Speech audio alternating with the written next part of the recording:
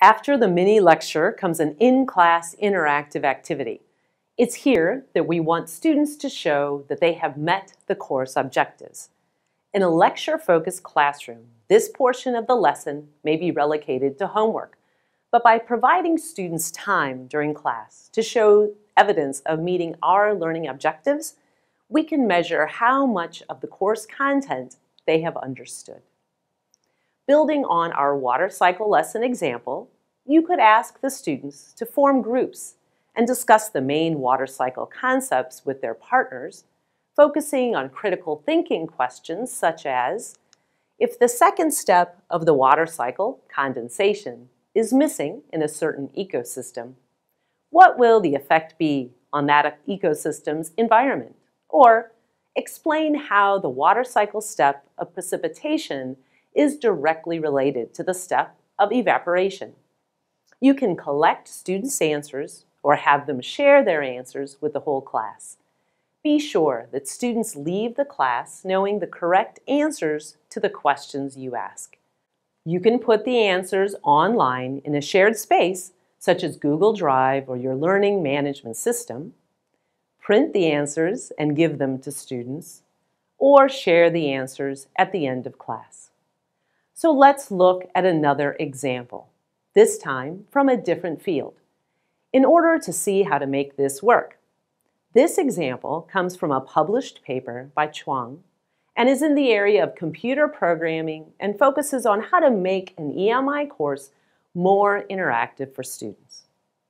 Chuang describes in detail how a course in Taiwan was revised for interactivity.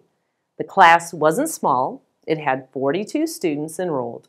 The lesson plan followed the model of first introducing or reviewing topics, then giving a mini lecture of about 10 minutes to introduce new concepts, and then allowing time for student interaction, such as through discussions or projects, and concluding with a summary session and student questions. Students were allowed to choose their own groups, though Chuang notes that in future classes, students might be assigned random groups so that they have more opportunities to learn from different peers. Breaking the larger group into smaller groups allowed for more interaction. Students were allowed to use some Chinese during their discussions, which the researcher found helped the lower proficiency students understand the concepts and eventually learn more English. At the end of the course, students gave a presentation on a project they did in class. Chuang notes that according to Vygotsky, the importance of the interactive portion of the class design. So here's a quote. According to Vygotsky, social interaction is essential for students to develop cognition. Therefore, in these discussion sessions, the instructor asks students to use lecture slides or the textbook to search and discuss the programming concepts with their partners. Students with insufficient English proficiency can then develop cognition with their partners during the discussion sessions.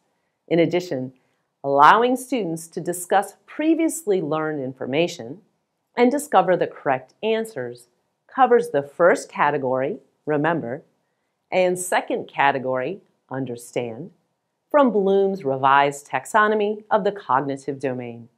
In addition, during the discussion sessions, the instructor walks to each group to obtain a snapshot of their current understanding of the class. If the instructor sees that none of her students can get the correct answers to the assigned questions, she adjusts accordingly, perhaps reintroducing the class concepts in the next lecture session, translating the discussion questions into Chinese to confirm that everyone can understand them, and having students redo the discussion questions. So the computer programming class used group discussions to allow students to go over programming concepts with their partners while the instructor walked around the room. A survey from this study showed that students appreciated this new way of teaching, such as in the areas of feeling that the teaching method was structured and promoted collaborative learning, that the course promoted their critical thinking, and that the instructor was enthusiastic and provided constructive feedback. These types of studies are encouraging because they show that following this model in your EMI lesson can help your students learn as well. So let's move back away from Chuang's study and discuss technology. Technology-related options to try in order to make class more interactive include asking students to log into forms or documents during class, such as in Google Docs or Google Forms.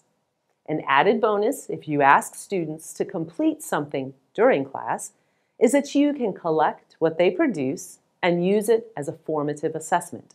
You could look at their Google Doc after class, for example, and use it to decide if you need to cover any topics again in future classes. You can also use social media, such as Twitter. Ask the class a question and have them reply to a hashtag, such as we have here. Then show the answers on the screen and lead a discussion. Or ask students to follow key leaders on Twitter, such as company CEOs, important academics, or governmental leaders. Students can read experts' tweets and bring what they learned to class for discussions.